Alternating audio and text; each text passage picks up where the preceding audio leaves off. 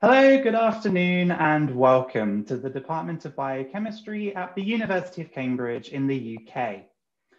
I'm Dr. Rhys Grant, and I am the Science Communications Specialist here in the Biochemistry Department, shared also with the Cell and Molecular Biology Programme at the Cancer Research UK Cambridge Centre at Cambridge University.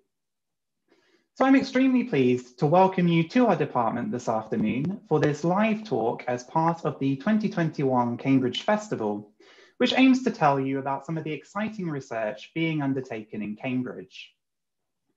So for this talk, I am joined by Dr. Amanda Chaplin, who is a postdoctoral researcher in our department. And today, Amanda is going to be speaking to us about how scientists can use electrons to image and obtain 3D pictures of biological molecules, like proteins and DNA, that may help us to understand how our bodies work. I'm also joined, as always, by Latika Sagumba, who's part of our department's secretariat team. And Latika is going to be helping me out behind the scenes today with the running of this online event. But before we get to hear anything about cryo-electron microscopy, the first thing we would like you all to please do is to click the subscribe button down below to follow our YouTube channel, because we've had loads of talks over this last week or so for the Cambridge Festival, and these are all still available online through our channel. And we're also planning on bringing you more live content direct from our department in the near future. We'd also encourage you all to please check out our other social media channels on Twitter, Facebook, Instagram, LinkedIn, and so on, using our handle, which is at CamBiochem. So that's C-A-M-B-I-O-C-H-E-M, because we use these channels to tell you about all of our news, our research, our teaching, events, outreach, everything really that goes on in our department in Cambridge. I also just want to let you know that after Amanda's talk, Amanda, Latika, and myself will be taking part in a live question and answer session.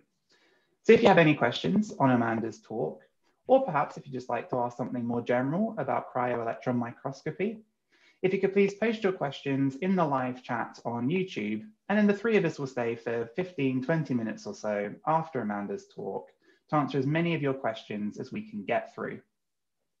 If you do choose to participate in the Q&A session, you don't need to worry about being seen on camera or heard though, because it will just be me reading your questions out anonymously on your behalf. So as I've mentioned, uh, so this afternoon's talk is going to be given by Dr. Amanda Chaplin, who is a postdoctoral researcher in our department in the research group of Professor Sir Tom Blundell.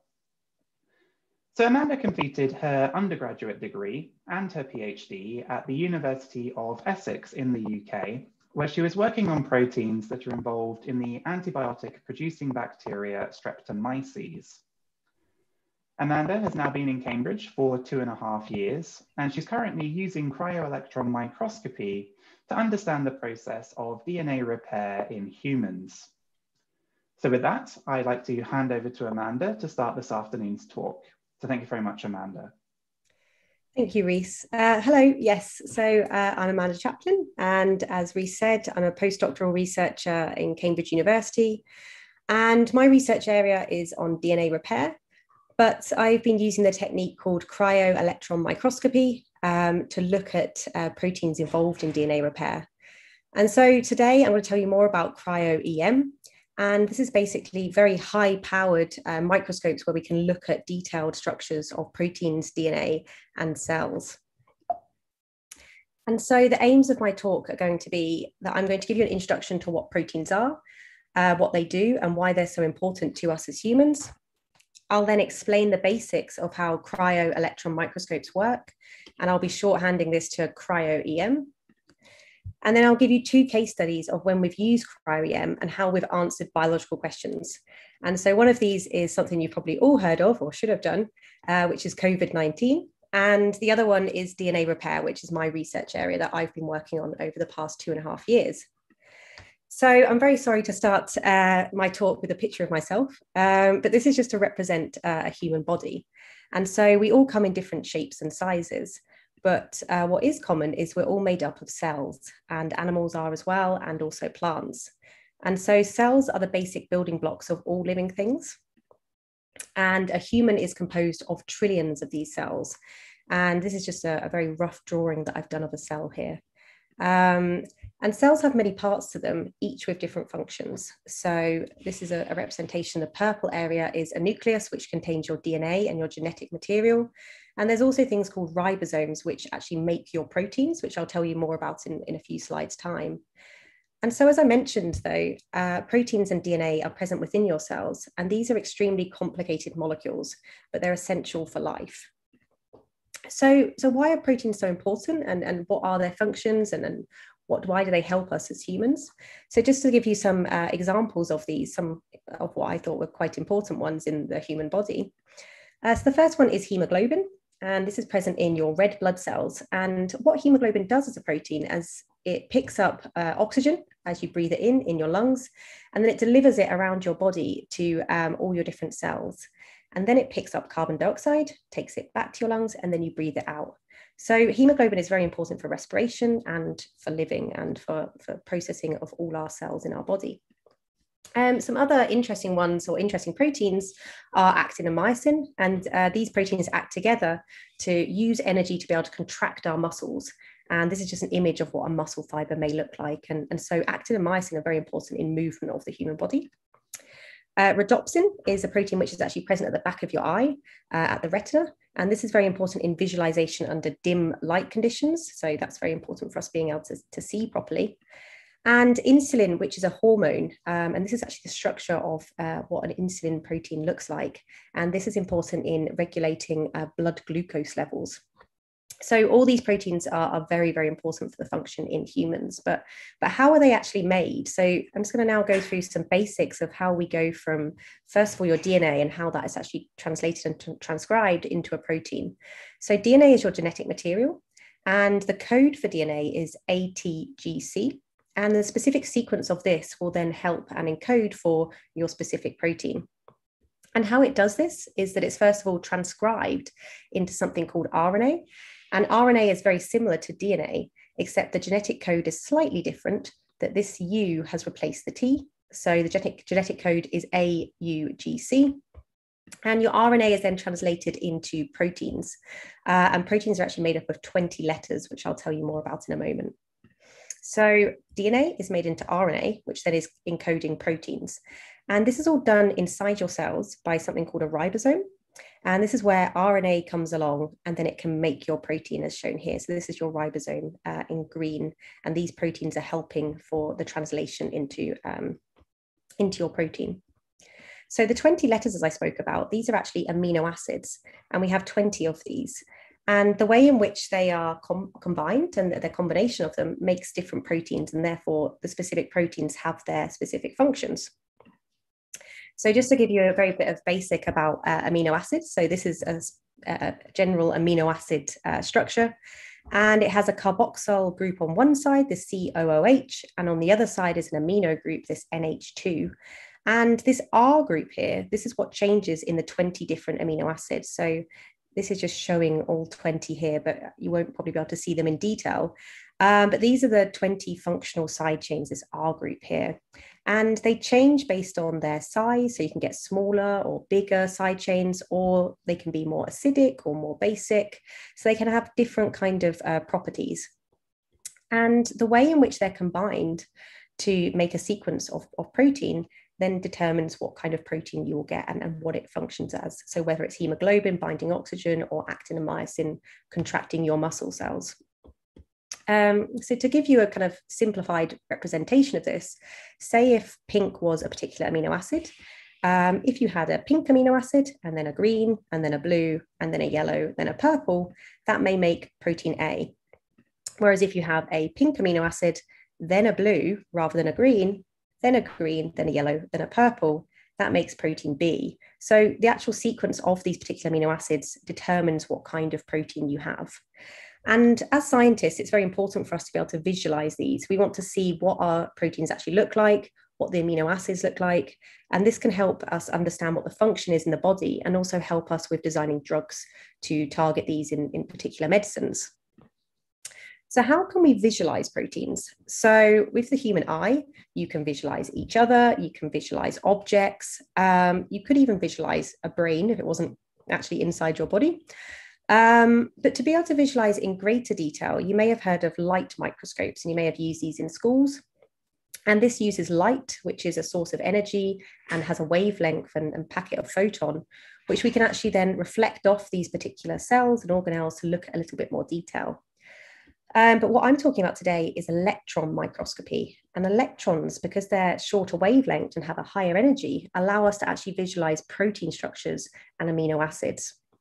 And so there are other techniques such as X-ray crystallography, NMR, which you can visualize proteins and, and, amino acids as well, which has been spoken about by other colleagues of mine uh, earlier in the week in the Cambridge Science Festival. But today I'm going to be telling you about electron microscopes and why we can use this to visualize proteins. So just to give you a little bit of history, so the first microscope was invented in the 1600s. Electron microscopes were about 300 years later than this, and cryo electron microscopes, and the cryo just means cold, uh, is since the 1980s. And so commercial microscopes are available since the 1930s, but the biggest problem was that because it's ionizing radiation from the electrons, it would actually cause a lot of damage to your sample. So it was only then in 1984 where a European team actually discovered this method of cooling your sample and cooling the microscope to be able to uh, actually withtain and not damage your sample so you could get better structures of your proteins and this is then really where cryo-EM started to kick off and, and has been just kind of going up and up and up since then. And this led actually to the resolution revolution. Uh, and this was a lot of work done by these three men, uh, Jacques Dubochet, Joachim Frank, and Richard Henderson. And Richard Henderson is actually working at the LMB in Cambridge. And they received the Nobel Prize in 2017 for their work in improving the resolution. And so, what do I mean by improving resolution? So before the resolution revolution, so before these three men did a lot of work to try and improve cryo-EM, uh, the structure of your protein may look something like this, where it's just kind of a blob. You can't really define anything. You don't know exactly what it what it can do and, and what its function may be. Now, with the resolution revolution, you can start to get greater and greater detail until we're actually looking at these amino acids that I said about, and you can start to see individual amino acids and how they're playing a role in the protein. And so, what's contributed to the resolution revolution? Um, and I'll just go through some basics here, but I'll tell you a bit more about that in a, in a few slides' time. Was firstly sample preparation. So, as I said, making sure the sample is cold is very, very important for, for stability and, and not damaging the sample. Uh, computational, so to, to, actually process your data. And we have these, uh, there's lots of different ways to process it, um, and software called Relion, cryoSPARC, and we use this to process our software and to get our structures. Um, electron microscopes themselves. So we now have very high voltage electron microscopes and detectors. Um, and these are now increased in sensitivity. And so we can actually detect the electrons a lot better. And this can then help us with determining our protein structures. So this is just to show generally what uh, electron microscope looks like. So I've just put on here a few a few things about the microscope, and I haven't gone into a huge amount of detail. But we start off with a high voltage, around 200 or 300 kilovolts, and we have an electron gun which fires the electrons down this central column here. And we have our sample or specimen, which is containing our protein in the middle. And the electrons then hit our sample before finally they're actually detected at the bottom here. And unlike a light microscope where you'd actually look at it using your eye, we actually need a special type of fluorescent screen or camera to be able to detect the electrons as they go through our sample before we can then process it. So that was what um, a cryo-EM actually looks like in, in a textbook. But what do they actually look like uh, in everyday life? So we here in the Department of Biochemistry have two types of um, electron microscopes, a larger one and a smaller one. And this is the larger one called the Titan Krios. Um, and it looks just a bit like a black box, to be honest. Um, but I have a short clip here from Steve Hardwick, who works in the cryo-EM facility. And I'll just show you this now what he's doing is he's loading some samples into uh, a cryo-EM microscope. And this is the, the, smaller one of the two, but you can see the detail in here. Um, and so he's loading the sample here. And then the specimen or sample protein will go into the electron beam, which is right down here, this big column. So it's fired down, hits your sample, and there's a detector right at the bottom there, which detects your sample. So what's the general workflow? What do we do to try and um, get structures of our protein. So we start with proteins in solution, and this can be by many different methods. Uh, you can extract it directly from, from uh, cells, or you can make the proteins. You then pipette them onto something called a cryo-EM grid, um, and these have lots and lots of squares all over them and can be made from different types of material. And then you rapidly freeze the sample in something called liquid ethane. And this is very, very cold and it rapidly freezes your protein and it creates a very thin layer of ice. You can then put your sample into the cryo and then collect lots and lots of images of it and use uh, then you use um, computing software power to process your data before finally you can get some kind of map and model of your protein structure. And so I'm just going to show you here. This is Lee Cooper. He works in the cryo facility here in Cambridge as well. And I just thought it might be quite nice for you to see how we actually freeze our protein samples. So this is a Vitrobot, this big thing here. And what Lee's doing and what he's showing you is he's picking up a very tiny grid, cryo grid on these tweezers. He's checking that uh, it's secure, and then he's attaching it to this Vitrobot. Uh, and this Vitrobot is actually controlled using a pedal underneath the bench that you can't see. So what he's doing is the, the cryo grid is now being taken up into this central chamber, and this is humidity and temperature controlled. And now this pot here contains the liquid ethane, um, which he will now press the button and it will start to rise. And then what he'll do is he'll take a pipette and he's then going to load his protein of interest. And this could be any protein really, or, or many different types of proteins that it could be. And he's now going to very carefully pipette it onto the cryo grid. Uh, so you have to be quite delicate with this. And uh, sometimes it's quite easy just to hit the grid a little bit. So he's now applying it to uh, the grid. And then you can see the white piece of paper there. What that's going to do is block the grid once the protein's loaded just to remove any kind of excess protein, and then rapidly plunge it into um, the liquid ethane and what we call vitrify it. And once it's created this vitreous ice, we can then load it into the cryo machine. And you can see as it quickly dunked down there, and then it comes down, it gets stored very coldly before we actually go on to loading it into the cryo machine. And so once you have your cryo grid with your protein on it frozen, you can then look at it under a microscope. And what it looks like is it's lots of tiny little squares. And if you have nice ice, you can see lots of them individually. And if you zoom in on one of those squares, you see something like this, which has got lots and lots of holes. And these holes can change in diameter and thickness depending on the type of grid, which can be sometimes better or worse for certain proteins. And then you can look at one of those holes. And if you look at one of those holes, you can start to see your protein particles. And so we're looking here for very individual, nice uh, protein particles, as you can see here. But then once you actually have your protein particles, once you can visualize it, once it's been in the, the microscope, how do you go from these 2D images of your protein to actually building up a 3D reconstruction? And so I thought I'd use a little example for this. And uh, this is a guitar actually I brought during lockdown um, to try and encourage me to be musical. Um, I can say so far I've only learned happy birthday. But anyway, uh, so this is showing you 2D images of my guitar. It's the side, it's the front, the bottom, the back, and the other side. And to make a 3D image, what, what happens is that you, you combine all these 2D images together to make this 3D reconstruction. And so eventually you can then get a 3D image. And this is exactly what happens in our computers for when we're actually trying to get a protein structure. So what we have is our protein particles, as shown here, and there's a type of software which picks all these protein particles individually. And you can then get 2D projections of them. This is just an example of one of the proteins I've been working on, um, and all lots of different 2D uh, projections. And then from these, you can build up a 3D reconstruction. This is a slice through uh, a 3D image. And then eventually you can create something called a cryo-EM map. And so this map is just covering your entire protein. And if you then know the amino acid sequence of your protein, you can build into this map and then you can finally get a cryo-EM structure. So this is how it, it, it generally all works. Um, and so now that I've told you about how cryo-EM works, what proteins are.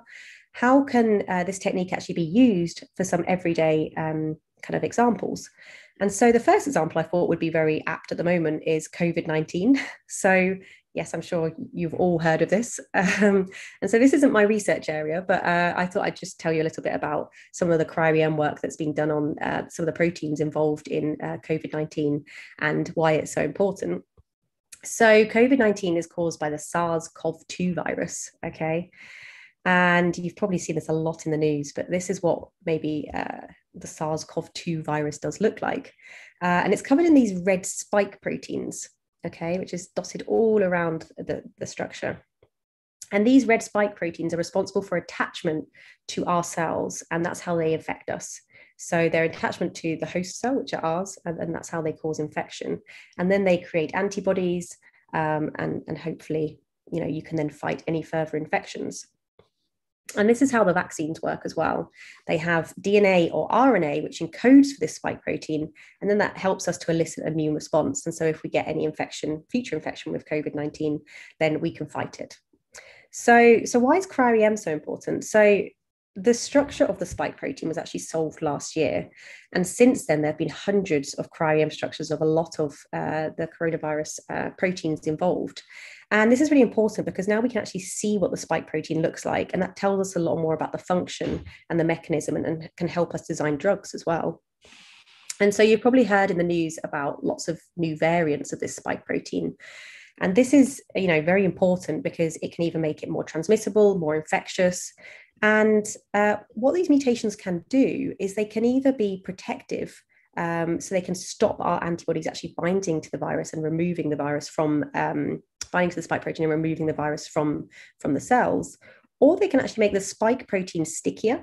So it sticks to our cells and causes a high amount of uh, infection.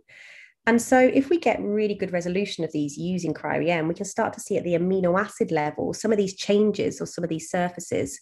And this then can tell us, you know, what's actually happening with the function of this particular protein and how we can then target it using different vaccines or different drugs. So uh, has been extremely important um, in the last few years, definitely in helping against the fight against coronavirus and COVID-19. And now just to go on to uh, my research area. So for the past two and a half years or so, I've been working on DNA repair. And so uh, you can get damage in your DNA. Uh, this can be caused by lots of things like ionizing radiation, um, chemotherapeutics. And if your DNA is then not repaired correctly or it's mutated, it can cause cancer or diseases and aging. So DNA damage is, is very, very dangerous. And perhaps the most dangerous type of DNA damage is when you get a break across both strands of your DNA. And this is called a DNA double strand break. Okay. Um, and cryo-EM has been really important because it's enabled us to look at a lot of the proteins that are involved in bringing these uh, the, the DNA back together again. And so this is just to show you very basically what happens is you get a break in your DNA. And this can be, as I said, caused by ionizing radiation, chemotherapeutics. And then there's various proteins, as shown here, which then bind onto your DNA um, I won't go into detail what they exactly are, but they then process process the DNA ends, and then they allow us to bring the DNA back together again and become repaired. So if your DNA isn't repaired, this can cause cancer and aging and other things. So to understand exactly how these proteins are working is, is very, very important. And so I've been using cryo-EM as a technique, and, and this is just to show some of the uh, structures that I've obtained, some smaller proteins bound to DNA, uh, larger, more complicated ones. And this one's 4,000, over 4,000 amino acids in length. And then how some of these proteins can actually bind together and form higher order assemblies. And we've started to find these really multi component um, complexes, which are so important in bringing uh, the DNA together. And, and so we can put these all together now in a type of mechanism where we have certain proteins coming together, which start to assemble, and then, and then more proteins start to come on. Um, so yeah, so the cryo-EM has really helped us to understand the function of, of DNA repair. Um, but we're still not completely clear yet. We've still got a lot of work to do. Uh, there's loads of proteins involved in DNA repair, and this all happens inside your cells, and it's it's really really complicated, and takes us a long time to figure out exactly where and how these things are binding, and and why certain amino acids are just so important in forming the complexes. Um, and also, then this can actually help us to design drugs Um, and it can actually help us to inhibit certain processes and help with cancer therapies as well. So this is something that we're, we're looking into and, and maybe we can stop these processes at certain stages uh, to help uh, with cancer therapies and other things in the future. So I've just whizzed through that really, but um, I would really like to thank uh, Sir Tom Blundell, who's my supervisor at the moment and has been for the last few years, and the DNA repair team, uh, Tonya, who's a PhD student I've been working very closely with over the past few years. And thanks to the Cryo-EM facility uh, in the biochemistry department. Um, they've set up now about three years or so, and it's been really helpful and really exciting trying to use this technique for um, understanding lots of different biological um, mechanisms and, and, functions, to be honest. And um, I'm sure there'll be, yeah, lots more exciting things in the future. Thank you very much. Great, thank you very much, Amanda. And thank you for taking the time to record those clips of how uh, the cryo-EM machine is used. They were really, really interesting. And at least from my perspective, I've never seen the cryo-EM in action. So that was, that was great. Thank you very much. Um, so we're now going to have our live question and answer session. Uh, so if you have any questions, if you could please post these in the live chat on YouTube, uh, and then we'll try our best to answer as many of these as we can get through.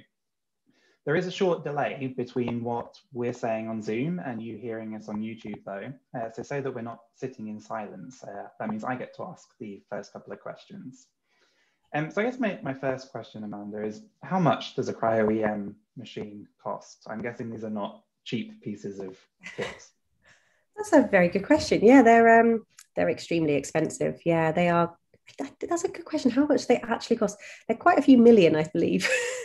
um, yeah, they're extremely expensive. We've got um, two here in the department, and um, I, I believe they required a lot of funding and and help to be able to set them up and and you also have to have specific types of room for them so they have to be quite quite tall the buildings um, and temperature controlled and um, you also you don't want a lot of vibration when you're collecting the data. So you have to make sure that um, yeah you have a specific type of room and and also the vitrobot that i showed you um, how to actually freeze the samples that that is also quite expensive. So the whole thing is definitely isn't cheap um, and you know the running costs as well. So i think i'm very fortunate to have such good access to it. Um, there are places such as like diamond uh, where you can apply to to collect data and go there so um, and i think lots more companies and, and universities are getting cryo so it's something that i think will continue for the next few years at least yeah you can you can kind of tell they're expensive just from looking at them. I think anything that has mood lighting, so the green lights and the purple lights, that those extra bits only come with expensive pieces of kit. Definitely, I think that adds to it, doesn't it? The mood lighting. it does. It looks very futuristic, and it looks like a lot of fun to use. Yeah, yeah, I think so. Definitely looking inside it. I mean, yeah, I've been using it for a few years, and I've never really properly looked inside until I helped with the video the other day. So um, yes, it's a it is a nice piece of equipment, definitely. Um, so I guess going back to the sort of the fundamentals of cryo-EM then, um, my first question is why can't we use visible light and light microscopes to image tiny things like proteins and individual molecules? Yeah. What stops us from That's a good question. I mean, it's all to do with kind of the wavelength of light. So as we're kind of looking through our eyes, everything's kind of reflecting back to us. Um, and if you use visible light, it's like a certain wavelength and a certain energy, and it's kind of packaged into something called photons. Uh, and yeah, so to look at greater detail, I mean, we know it's there, but to actually have the wavelength and energy of light to be able to, you know, penetrate it to then reflect back to us, um, we don't have the capabilities of doing that. So that's why uh, electrons are so good at that. They're just higher package, uh, higher energy particles where you can actually um, penetrate things which are much smaller. So um, yeah, there's other things as well like X-rays and um, yeah, so that's why you have to kind of use different types of uh, energies to be able to see such detail. And you mentioned when using electrons that um, in previous iterations of electron microscopy, the electrons would damage your samples. So what, what about the cooling process stops that damage from happening? Yeah, so the cooling process I think was really important in in helping with cryo-EM. It definitely it kind of Yeah, it's it freezes the sample, so it, it stops it from any electrons that are hitting the molecules from actually you know causing more damage and ionizing radiation around it. So it just kind of almost you know like stops the the reaction stops anything actually occurring. Um, and yeah we call it something called vitreous ice. Mm. so um, it's the way it's frozen very very rapidly uh, in something called liquid ethane um, which is yes very very cold. Um, not quite as cold as uh, liquid nitrogen.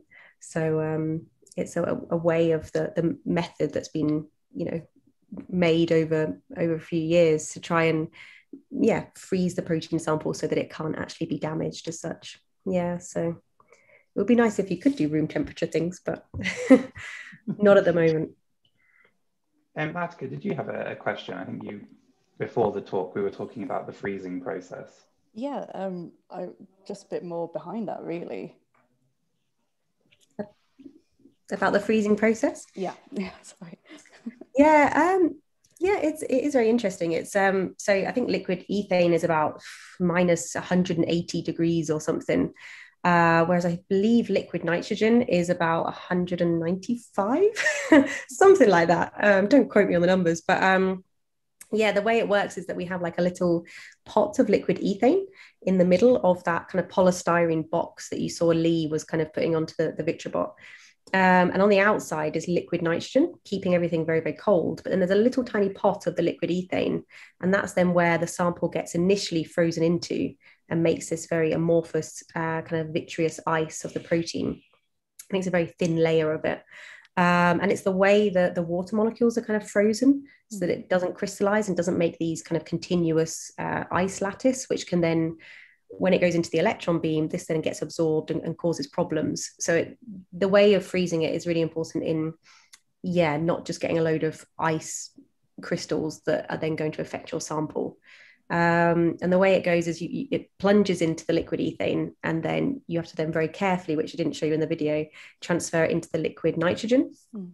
And the liquid nitrogen is a lot uh, safer than liquid ethane and it's a lot easier to kind of transport the grids and things. So you initially freeze it in the liquid ethane, transfer to the liquid nitrogen, and that's then how you store your grid. Um, and and uh, the, the microscopes are all stored under liquid nitrogen. Mm. So it's only the initial freezing which is done in the ethane. So how come you wouldn't just use liquid nitrogen for the whole of this uh, process then?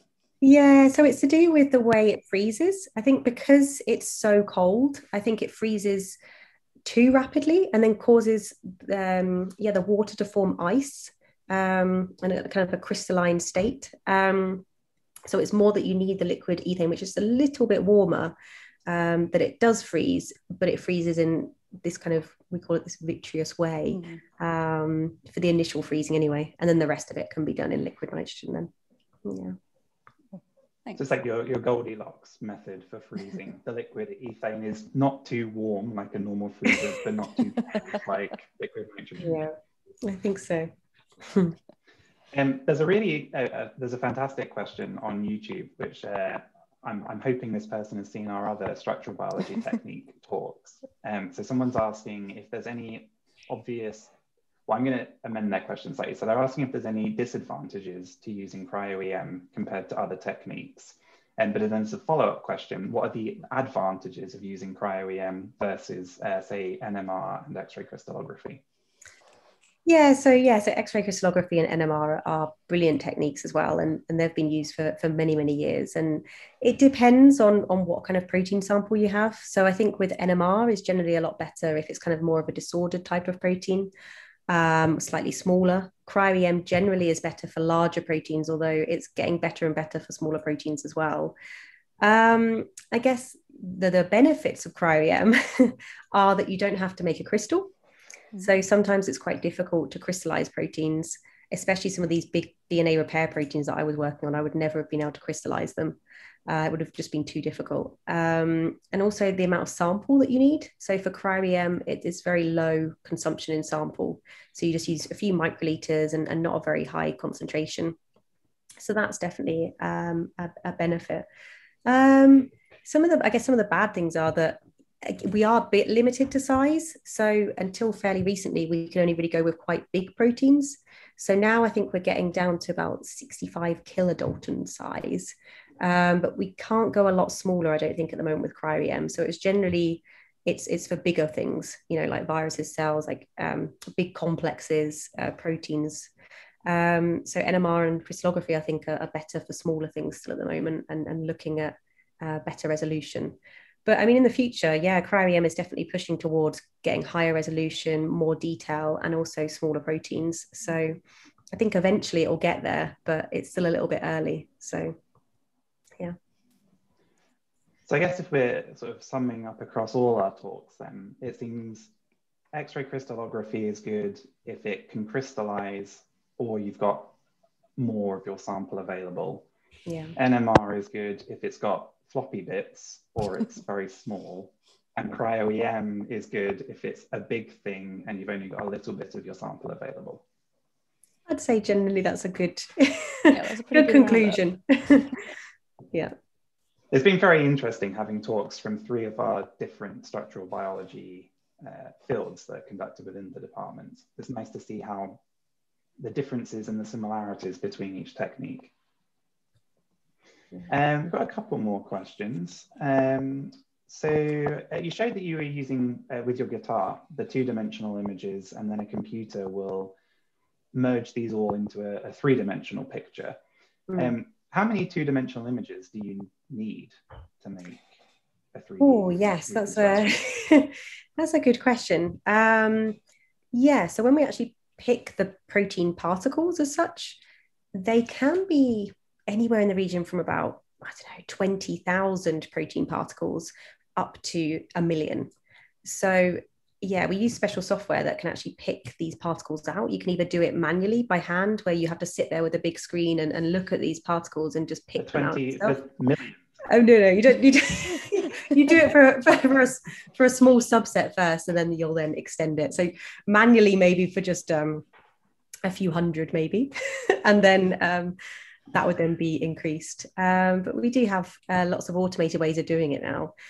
And the micrographs, yeah, there's a there's a few hundred of those, so it's it's quite a lot. Um, and then the 2D classes, so all those protein particles will go into specific classes of 2D, and there can be, I don't know, anything from starting at about 100 different classes, um, and then you can start to narrow it down. So you start with maybe 100 2D projections of your moving particle, and um, I should say one of the problems with cryo-EM is sometimes you get your, your protein particle just in one dimension. So you just get it from kind of looking above rather than on the side. And that can be a bit of a problem when you're actually generating a, a, an image of it. Um, and then from there, from all those 2D classes, you can then pick out maybe five, which go into your final reconstruction. And, and that's then how it builds up. So yeah, it's um, there's, there's a lot, uh, and you can collect data sets over, I don't know, like a day or a week. Um, and the longer you collect, the more particles you have, the better generally the resolution is of your of your sample and uh, of your structure. So, yeah, it takes a little while. There's lots of good kind of like, uh, software. Is it a bit like you're kind of taking an average then? So the more pictures you have, you're kind of averaging out any of the interference or whatever from the individual pictures yeah yeah. definitely. No it is. You're, you're exactly right. It's like an average and you could in your protein sample have you know some of the smaller stuff on its own some of the bigger stuff on its own and then you could have the two proteins together. Um, so from one data set you can get you know multiple structures.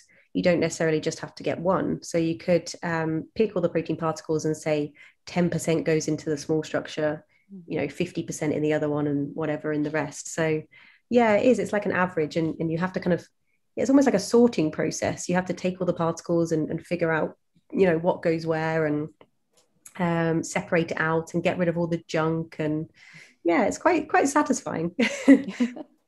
I guess like when you end up with such beautiful three-dimensional reconstructions it's going to be satisfying when you get that end product. Yeah yeah definitely. Well it's sometimes frustrating but